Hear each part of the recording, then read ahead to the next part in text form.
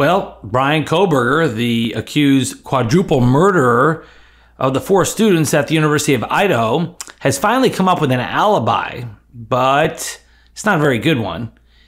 He does, however, have a cell phone expert who usually testifies for the prosecution to say that his cell phone was pinging away from the murder house.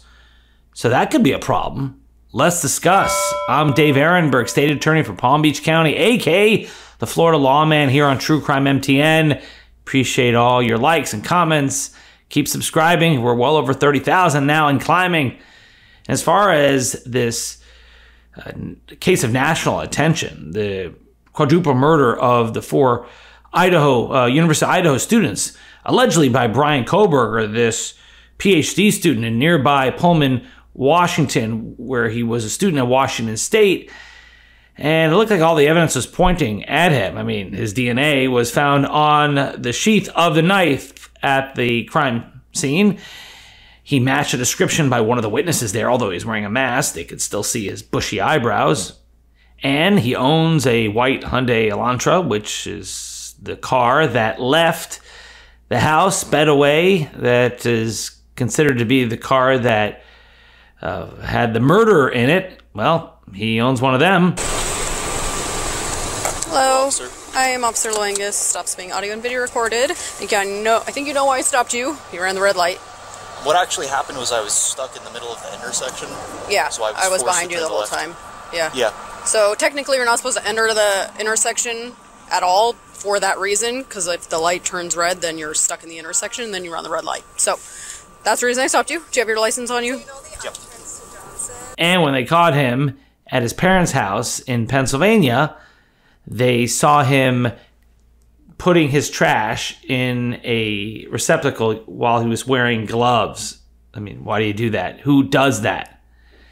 So there's a bunch of evidence against the guy. And a big part of it is also the cell phone data. Now, for the first time, the defense lawyers have come up with an alibi. Even though you're supposed to provide an alibi within 10 days of the arraignment, if you're in Idaho, the judge allowed the defendant, as is the right of the judge, to have multiple extensions and finally come out with it now. Now, to me, that's a little suspicious because if you have an alibi, you know where you were. You can say it right away. If you were at your mother's house, you can just say that. But he took a while to come up with the alibi. I think he was looking at the evidence against him and was trying to figure out what to say. And according to his defense lawyers, the alibi is just that he was stargazing. He was out alone driving. Not much of an alibi, right? And uh, he said, according to the pleadings, that Mr. Kohberger was out driving in the early morning hours of November 13, 2022, as he often did to hike and run and or see the moon and stars. He drove throughout the area south of Pullman, Washington, west of Moscow, Idaho, including Wah Park.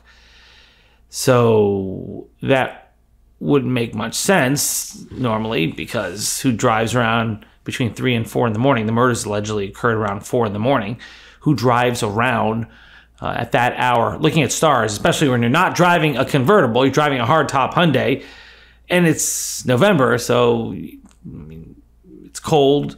the, I don't know if it was snowing that night, uh, but you would think visibility wouldn't exactly be at its peak, but okay, that's their claim. Now, as much as I would like to say that's bogus, uh, the defense does have a cell phone expert, someone who normally testifies for the prosecution, someone who has a good reputation.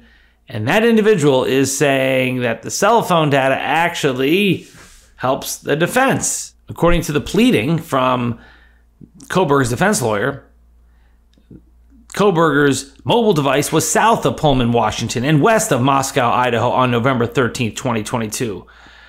At Bryan Kohberger's mobile device did not travel east on the Moscow Pullman Highway in the early morning hours of November 13th, and thus could not be the vehicle captured on video along the Moscow Pullman Highway near Floyd's cannabis shop.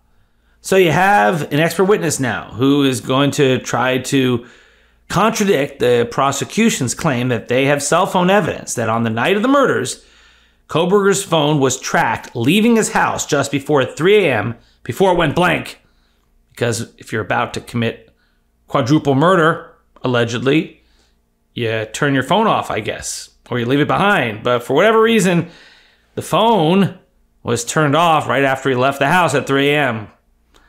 And a car matching Kohberger's was seen on surveillance footage passing the house four times on the night of the murders. And it was seen speeding away about 15 minutes after the murders. And about 30 minutes later, the phone turned on again. It started pinging again on the highway from Moscow back to Pullman, where Kohberger lived. So now it could be a battle of experts. That's not good for the prosecution if it is a battle of experts because the prosecution has the entire burden of proof to prove beyond a reasonable doubt that Kohberger was the murderer. And all you need is one juror, one juror out of 12 who has some reasonable doubt, and that is a hung jury. If you have all 12, it'll be an acquittal. That's not going to happen here. The evidence to me is really strong. DNA is very powerful direct evidence. And then you have all this other stuff the car, the cell phone data, which now could be in dispute.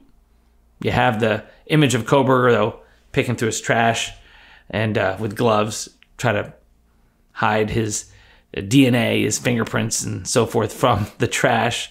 And the cops were out there pulling the trash. Um, so it's it's uh, still a really strong case against Kohberger. Plus the fact that he's a PhD criminology student who seems to be fascinated with serial killers, and he matched the description from one of the witnesses there at the house. Although he was wearing a mask, they said it was someone matching Kohberger's build, height, and so forth with bushy eyebrows, which Kohberger has. So it seems like they've got some good evidence, and if they can show things like, well, the Kohberger was near the victim's house at least 12 times in the months preceding the murders, that's also powerful evidence. Why would he be casing the scene? Why would he be driving around there? He doesn't live near there. So if they could show surveillance footage that shows him driving around, well, that's pretty bad for Kohberger.